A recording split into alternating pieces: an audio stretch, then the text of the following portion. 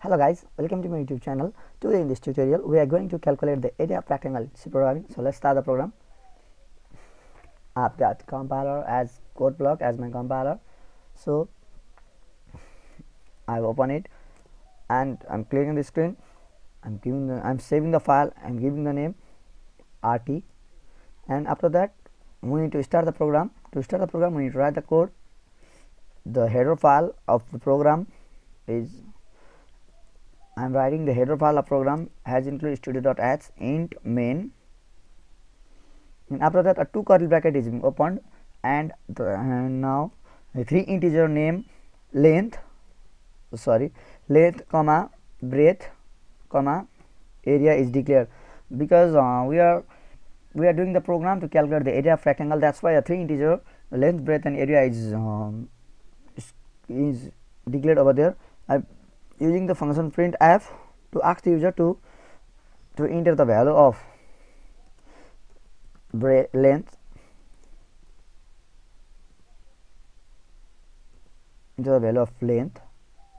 Similarly its value is stored and scanned using function f scan f function scan f modulus d comma ampersand l Similarly, the user is being asked to print the to enter the enter the absolutely sorry I missed the the over there. And similarly the user is being asked to enter the enter the breadth of breadth of rectangle. Enter sorry e n t r enter the breadth. Enter the breadth. Similarly its value is also stored and scanned using function scanf modulus d comma ampersand b. And the main theme of the, the main core of the program is to lead the area to lead the area as the area of rectangle as as we all know that the area of the formula of area of rectangle is length into breadth.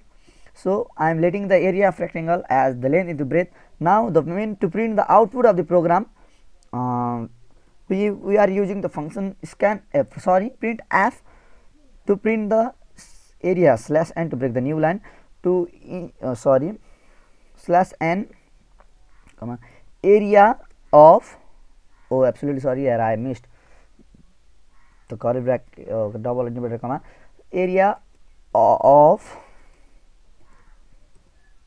rectangle area of rectangle uh, percentage oh sorry. Absolutely sorry. Um, modulus modulus d comma area.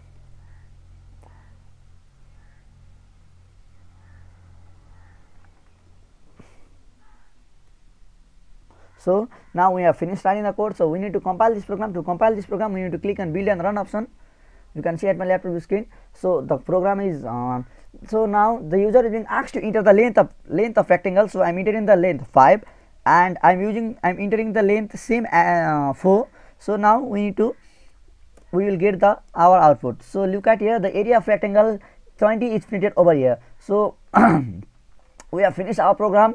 That's it for today. So uh, don't forget to subscribe my youtube channel tutor Sushant for more c programming tutorial videos. Thank you very much